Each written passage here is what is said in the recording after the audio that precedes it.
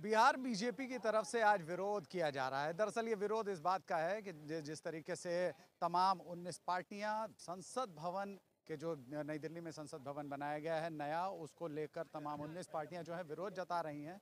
वहीं आप देख सकते हैं कि बिहार विधानसभा में आज बीजेपी की तरफ़ से उसी विरोध का एक तरीके से उसी विरोध का जवाब देते हुए ये कहा जा रहा है कि बिहार बिहार विधानसभा का जो विस्तारित भवन है, उसे जो है बनाने में नीतीश कुमार, उसे नीतीश कुमार ने बनाया और उसके बाद जो है उस उसका उद्घाटन किया, जिसे लेकर देखिए, आज यहाँ पर बीजेपी ने उस शिलापट के बाहर विरोध करने का जो फैसला लिया, उसके बाद यहाँ पर देखिए बीएमपी के जो बिहार होमगार्ड के जो जवान हैं, उन्हें यहाँ बुलाया गया है। अंदर इस वक्त सम्राट चौधरी विधानसभा भवन के अंदर नज़र के अंदर हैं और उनके साथ तमाम, उन्होंने कल इस बात का ऐलान किया कि तमाम जो बीजेपी के विधायक हैं, नेता हैं तमाम वो लोग जो हैं, वो विरोध करेंगे।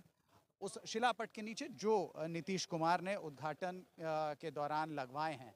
तो इस वक्त आप देख सकते हैं कि विधानसभा के भीतर जो बिहार होमगार्ड के जवान हैं, उनका एक अच्छा खासा बल उन विधायकों को रोकने के लिए बुलाया गया है, ताकि जो विधायक हैं वो उन्हें रोका जा सके और इस वक्त आप देख सकते हैं जो तस्वीरें हैं वो बिहार विधानसभा के भीतर की है।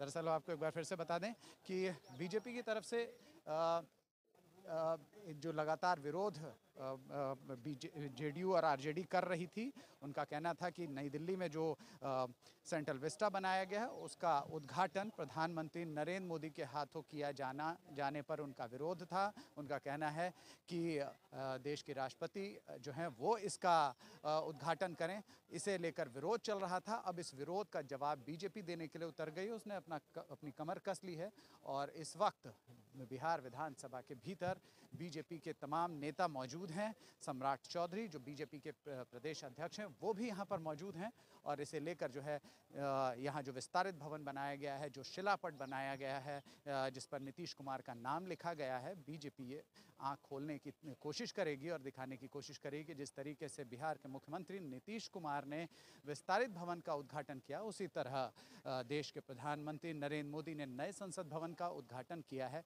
इसे लेकर जो विरोध जारी है तमाम विपक्षी पार्टियों में उनका विरोध न, जो है वो ठीक नहीं है। सहयोग बिट्टू के साथ केशव सुमन सिंह पटना।